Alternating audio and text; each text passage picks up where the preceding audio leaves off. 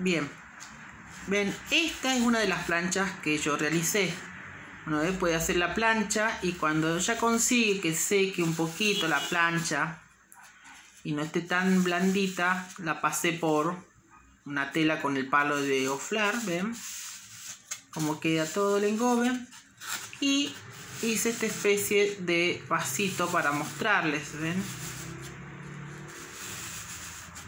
Podría ser cilíndrico totalmente, ¿sí? En este caso corté la plancha en tres como para hacer un forma como ojival, como de una hoja,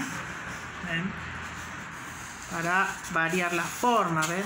Esta sería otra forma que podrían construir. Hacen la plancha y después cortan las planchas y cosen las planchas y ya tienen el efecto, el tratamiento de superficie incorporado, ¿ven?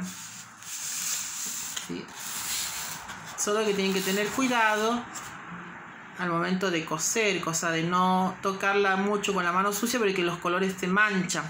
hay que tocar lo menos posible, ser lo más pulcro que se pueda.